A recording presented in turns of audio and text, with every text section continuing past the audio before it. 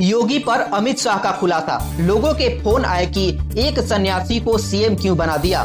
Bharatiya Janata party के अध्यक्ष अमित शाह ने ढाई साल पुराने घटनाक्रम को याद करते हुए बताया है कि उन्होंने योगी आदित्यनाथ को यूपी के मुख्यमंत्री पद की ज़िम्मेदारी क्यों और किन हालातों में दी थी।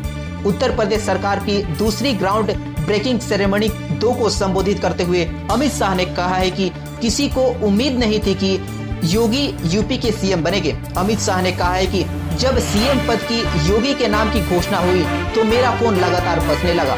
लोगों ने कहा है कि योगी ने तो नगर निगम भी नहीं चलाना आता है, कभी मंत्री भी नहीं रहे। वो एक सन्यासी है। उन्हें इतने बड़े राज्य का मुख्यमंत्री कैसे बना दिया गया? अमित शाह ने यूपी का सीएम चुनने के बाद पार्टी में हुई मंथन को याद करते हुए कहा है कि उस वक्त पीएम नरेंद्र मोदी और पार्टी अमित शाह के रूप में मेरे मन में सिर्फ़ एक ही बात चल रही थी।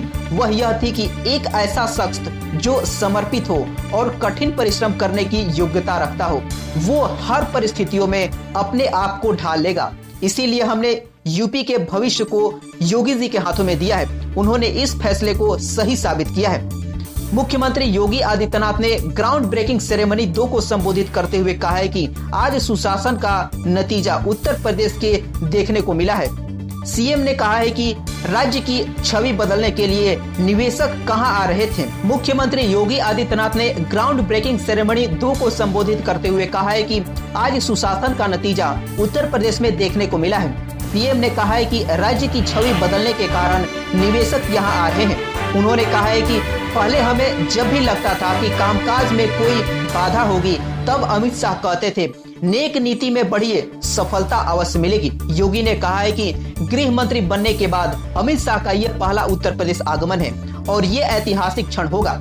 सीएम योगी आदित्यनाथ ने राज्य की बदलती छवि को तस्वीर की पेशकश की है। उन्होंने कहा है कि उत्तर प्रदेश आज हर क्षेत्र में आगे बढ़ रहा है। पैंसठ हज़ार करोड़ रुपए के अधिक की परियोजना का शिलान्यास करते हुए अमित शाह यहाँ आए हैं। उसके पास प्रदेश में रोज़गार, कानून व्यवस्था और हर एक क्षेत्र में संभावना की जानकारी है।